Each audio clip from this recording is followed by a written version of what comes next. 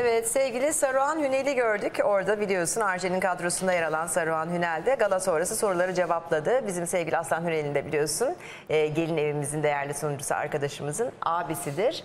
E, ben de sevgili Saruhan'la e, yıllar önce bahsetmiştim bir dizi film maceram olmuştu.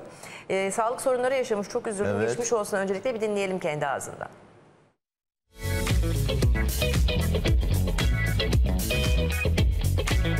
Özel hayatınızı da sormak istiyorum. Güzel giden de bir beraberliğiniz var.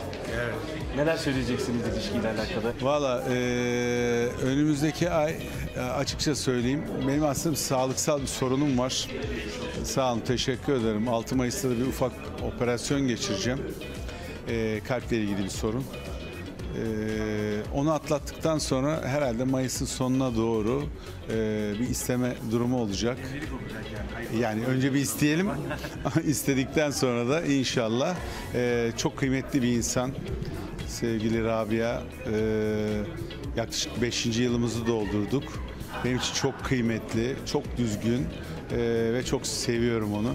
İnşallah her şey eee, bu 5 yıl boyunca olduğu gibi önümüzdeki yıllar boyunca da böyle gidecek diye umut ediyoruz. Yani bu ay sonu gibi bir isteme faslımız olacak inşallah.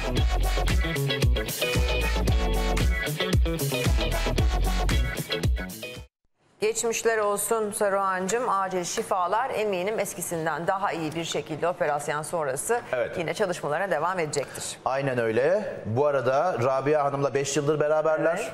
Şahane. Bunu artık izdivaçla nihayetlendirelim değil de bir tık daha hani farklı bir e, moda sokalım demişler. Güzel. Mayıs sonu isteme olacakmış. Ne güzel. Merakla bekliyoruz. Acaba kahveye tuz olacak mı olmayacak mı? Ya Her yörenin adeti farklı. Farklı, aynen. Evet. Ee, 6 Mayıs'ta bir operasyon. Tamam gözümüz kulağımız ve dualarımız seninle güzel kardeşim. Eminim sevgili Aslan da aynı şekilde.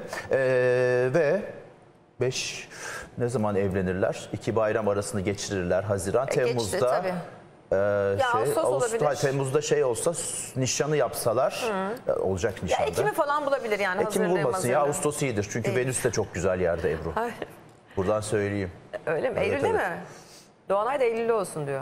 Ee, yani Eylül'de o- altın fiyatlarına bakar bir taraftan. Altın biraz daha artacağı düşünülürse ne kadar tez zamanda yaparlarsa o kadar iyi olur. O zaman buradan Saruhan'la Rabia'ya biz söyleyelim. Sizin Tabii. düğün tarihinizi biz belirledik burada. Aynen, buradan belirledik Hiç kardeşim. aramayın. Bak Venüs'ten baktık altın fiyatlarından koyduk. Ha, uygun zaman Ağustos Eylül civarıdır. Ve ilk ziyaretçileri kim olacak? E, tabii, tabii ki ki gelin evi.